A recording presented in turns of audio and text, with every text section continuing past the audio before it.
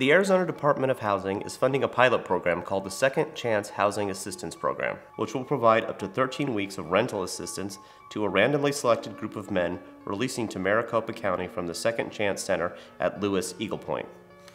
Pilot programs are about using data to see whether or not a program makes a difference, so the Arizona State University will be conducting a study to see whether or not financial assistance for housing makes a difference in recidivism. In order to identify this, it takes what is called a comparison group. In other words, one group who gets something and another group who does not. It is important that those receiving assistance are not selected based on any set criteria. Selection is entirely random. Through this process, everyone entering the Second Chance Center will fill out an application for services. Once this paperwork is processed, you will be randomly assigned into two groups. One group will receive financial assistance, while one group will not. Again, this is determined on an impartial random basis. Whether you're in the group receiving financial housing assistance or whether you're not in the group receiving financial housing assistance, your participation in this study is equally important to finding out if this is a factor in helping people stay out of prison.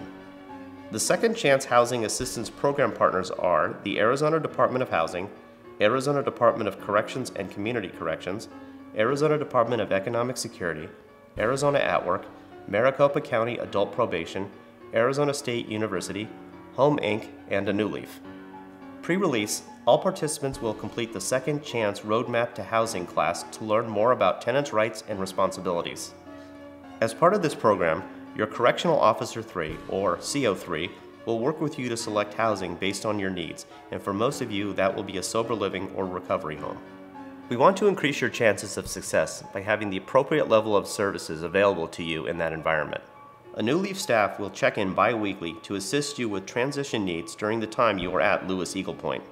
Post-release, all participants will have access to a variety of supports, including resources such as professional clothing assistance and hygiene kits along with other support services.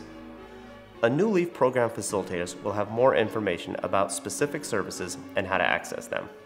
Your participation in this program is critical to understanding the impact housing has upon successful reentry benefiting you, your family, and many others. The Department of Housing and all the program partners in this project deeply appreciate your participation and look forward to sharing outcomes after the study is completed. Thank you so very much for your participation.